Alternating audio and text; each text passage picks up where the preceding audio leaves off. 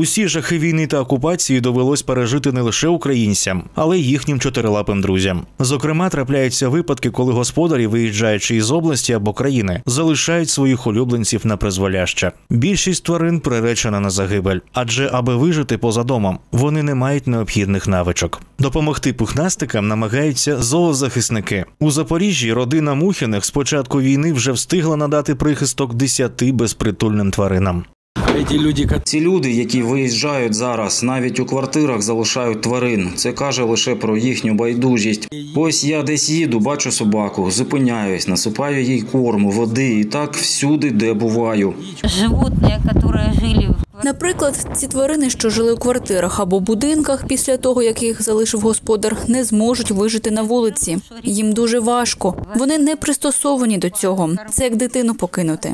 Наразі в родинному притулку зоозахисників перебувають понад 60 кішок та собак. Тут волонтери власними зусиллями годують, лікують та надають всебічну допомогу покинутим чотирилапим друзям. варим Ми відрами варимо їсти не по одному, навіть не по два. Буває, що і по чотири-п'ять. Усі відра розвозимо і годуємо. У меня нет отдыха. В мене немає відпочинку взагалі. Я постійно щось роблю для цих тварин. Постійно готую їжу, суп, купаю їх, годую, лікую. Постійно.